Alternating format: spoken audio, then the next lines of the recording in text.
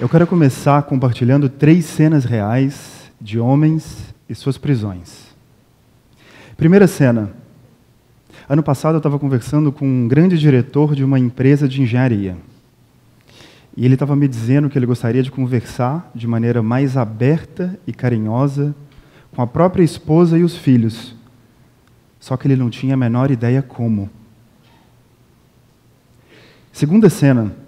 Eu estava conversando com amigo, 30 e poucos anos, bonito, bem-sucedido, saudável. Lá pelas tantas, ele falou comigo que estava com um problema de brochar. Não era brochar uma outra vez, era brochar bastante. Dava para sentir a vergonha dele. Quando eu falei que eu já tinha passado por isso e sugeri ir procurar um psicólogo especializado em sexualidade masculina, dava para sentir o alívio ele vendo que tinha uma maneira de resolver aquilo. Cena 3.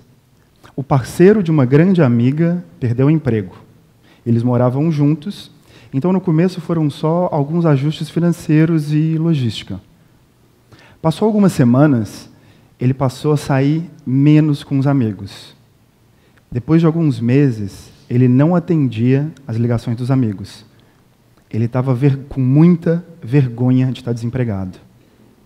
Ele passou mais de um ano sem aceitar ajuda de ninguém até reconhecer que estava em depressão, finalmente ter apoio e conseguir atravessar esse contexto. Eu começo com histórias ao invés de dados de pesquisa, porque a gente não precisa de pesquisa para saber que os homens estão mal. É só olhar para o lado e escutar. E o que, que todas essas histórias têm em comum? O silêncio homens que não falam. Seja por medo, por insegurança, por não saber quem procurar, ou às vezes com a desculpa de que eles não querem levar o problema para outra pessoa. Mas quando você fica em silêncio, é o caminho mais rápido para fazer justamente quem você ama sofrer junto. Os homens vivem prisões que eles mesmos ajudam a sustentar. Isso me lembra da única vez em que me perguntaram por que o Papo de Homem foi criado. Já me perguntaram inúmeras vezes como, mas só uma vez por quê. E a resposta é simples: solidão. Solidão masculina, que afeta tantos homens e que a gente começa a construir muito cedo. Quando eu tinha 10 anos, uma professora pediu para fazer um desenho de como é que eu seria aos 30. E eu lembro desse desenho, porque eu teria 1,80m, 80 quilos, uma esposa, dois filhos e um milhão de reais na conta. Corta, quando eu tinha 18 anos, eu era feio, magrelo, cheio de espinha, morria de medo de apanhar. Eu lembro daquela entrevista que o Romário deu na época, dizendo que dava 10 sem tirar de dentro. Eu não conseguia dar um beijo na boca nem transar. Eu lembro que nessa época eu sentia muita raiva, culpa, angústia. E eu não tinha com quem falar sobre isso. E eu não acho que eu sofria pelo homem que eu era. Eu acho que eu sofria porque eu não me achava homem o suficiente. E de onde vem isso? Como é que essa ideia se constrói? De alguma maneira, o que eu fui escutando de mídia, escola, família, na rua, minha própria personalidade, minhas próprias escolhas, me fizeram acreditar que eu não era homem o suficiente.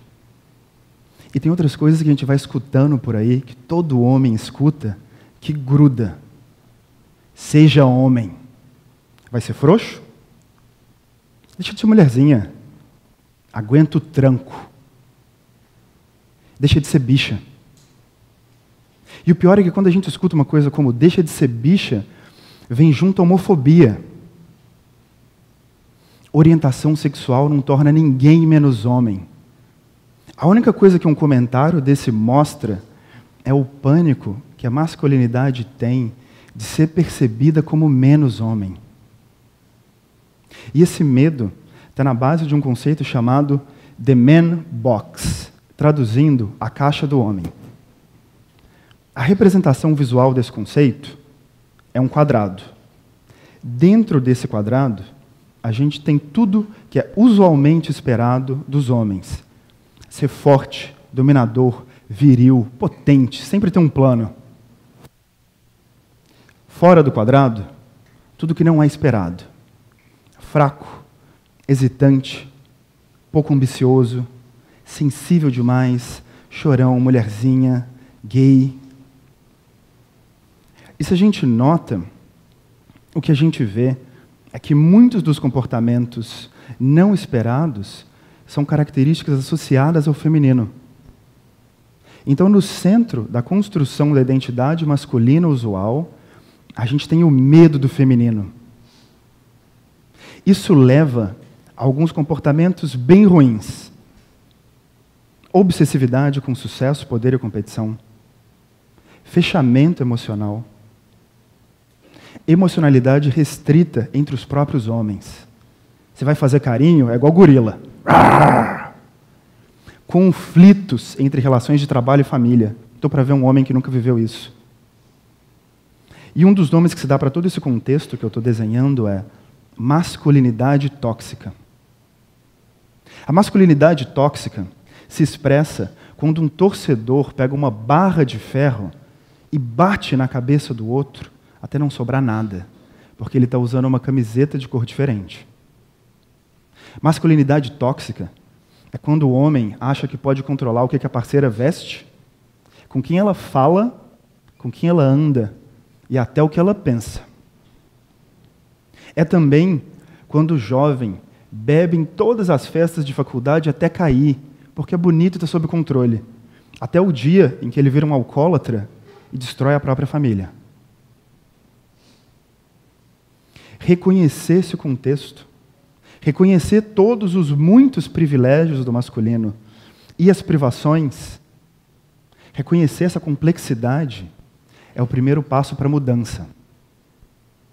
Esse papo de que os homens são simples e as mulheres são complicadas é puro mito.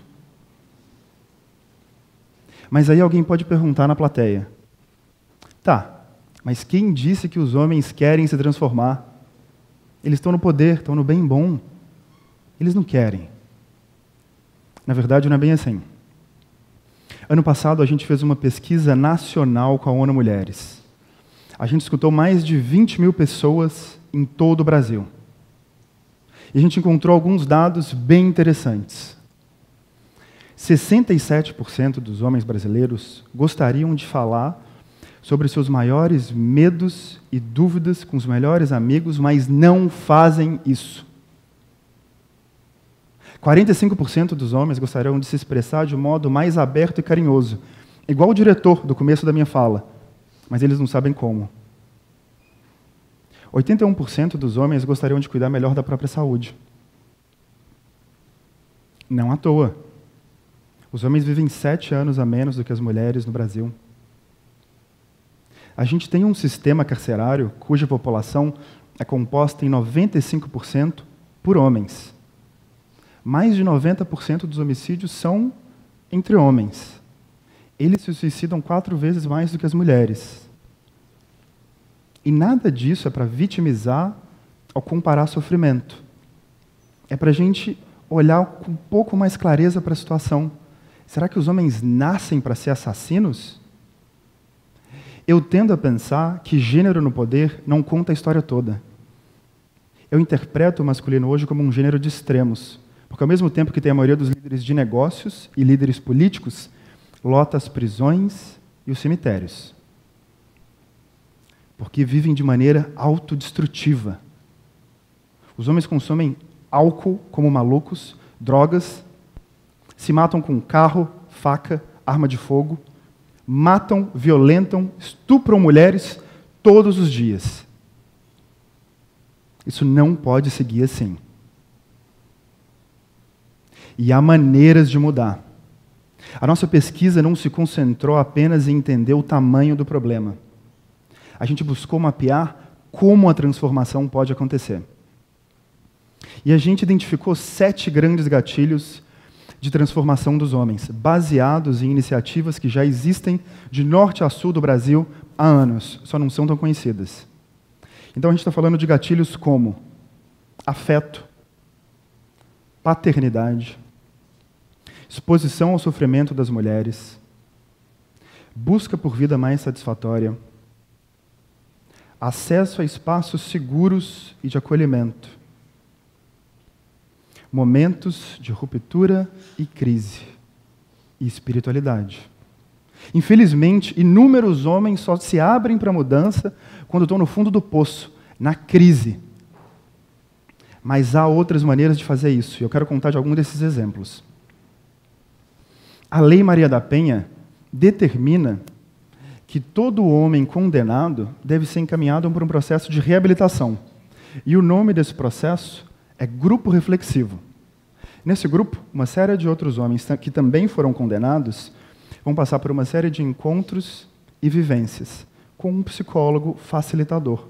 E basicamente o que vai se dar ali é que eles vão refletir sobre o que é masculinidade, sobre o que é ser homem e sobre como é que se constrói um relacionamento amoroso e saudável com a sua parceira ou seu parceiro. Aqui no Maranhão, a taxa de reincidência é de 75% para os agressores.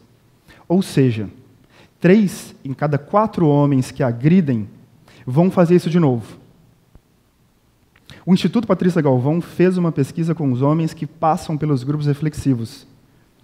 E eles notaram que a reincidência cai para até 5%. Ou seja, a gente está falando de uma iniciativa potencialmente 15 vezes mais eficaz. Por que isso não acontece mais? Ainda é mal visto. Pesquisas apontam que mais da metade da população acha que a punição é a maneira mais eficaz de lidar com o homem agressor. A punição muitas vezes é um meio necessário para interromper ciclos de violências e evitar tragédias. Mas ela sozinha não vai conseguir operar a transformação que a gente precisa. E tem outras iniciativas maravilhosas acontecendo. Tem grupos de homens em Recife que se reúnem na laje do bar para discutir saúde masculina com um médico. Por que na laje do bar? Porque é onde eles já vão. A gente não precisa levar todo mundo para uma sala chata e fria. Tem torneios de futebol que fazem conscientização de gênero. Aumento da licença paternidade para os homens voltarem para casa e cuidar dos filhos. Rodas de conversa com adolescentes em escolas que usam os textos e vídeos que eles já leem e assistem na web. E a própria pesquisa que a gente fez, que desembocou em um documentário que está público para todo mundo assistir no YouTube da ONU Mulheres. O documentário se chama Precisamos Falar com os Homens? Uma Jornada pela Igualdade de Gênero. São só algumas das iniciativas, pessoal. Porque criticar a masculinidade tóxica é completamente diferente de criticar o masculino ou os homens. O masculino é amplo, rico, maravilhoso, assim como o feminino. E eu queria tomar a liberdade de caminhar para o final da minha fala, lendo um e-mail que a gente recebeu semana passada de um policial. A gente escreveu sobre a crise dos policiais no Espírito Santo. Eu imagino que todo mundo acompanhou. Quando essa crise acabou, os policiais em massa foram procurar atendimento psicológico no hospital psicológico da PM. Sabe o que aconteceu? Eles foram ridicularizados com falas como: Deixa de ser frouxo, agora não aguenta o tranco? Virou mocinha? E a gente fez um texto denunciando essa situação. E a gente recebeu um e-mail que é assim: Boa tarde. Gostaria, nesse primeiro momento, de agradecer a todos da página que contribuem diariamente para o meu crescimento. Confesso que quando comecei a acompanhar o Papo de Homem, eu era metido a reacionário, machista e bastante babaca. Muito se passou de lá para cá. Tive auxílio de minha irmã e de minha esposa duas mulheres que ajudaram a me transformar. Muito obrigado. A transformação acontece, pessoal. A gente recebe e-mail assim toda semana. E quase sempre são de pessoas que acompanham a gente há anos. Isso conta de outra coisa muito importante. Esse processo toma tempo, paciência, acolhimento, continuidade.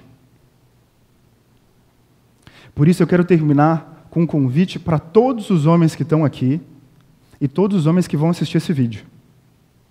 Que a gente possa criar e sustentar espaços de transformação para o masculino. Não são os espaços de poder, são os espaços de mudança e escuta. Espaços físicos, espaços digitais, espaços de encontro. Pode ser junto com o que a gente já faz, pode ser no churrasco, no futebol, no encontro dos amigos. Só que em vez de levar a couraça e a máscara e a pose de macho, você vai levar o coração aberto.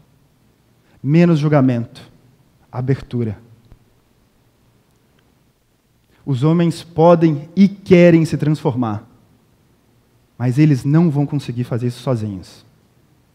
Vamos juntos? Obrigado.